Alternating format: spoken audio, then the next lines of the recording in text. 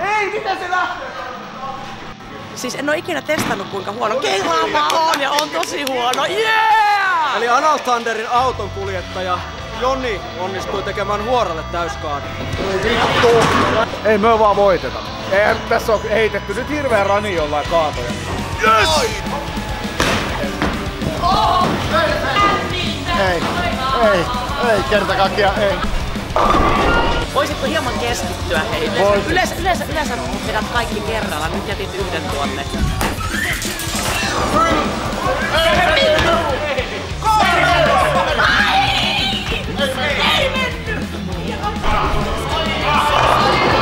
Tää näyttää tosi pahalta. Annettiin aivan väärä jatkotoden vahvistus.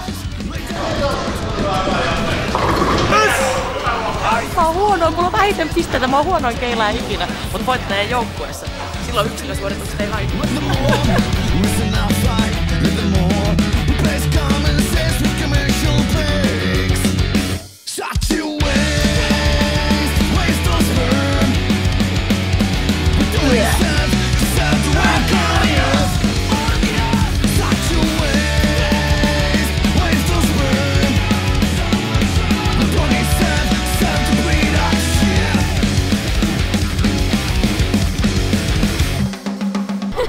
Tää, tää oli mahtava kokemus.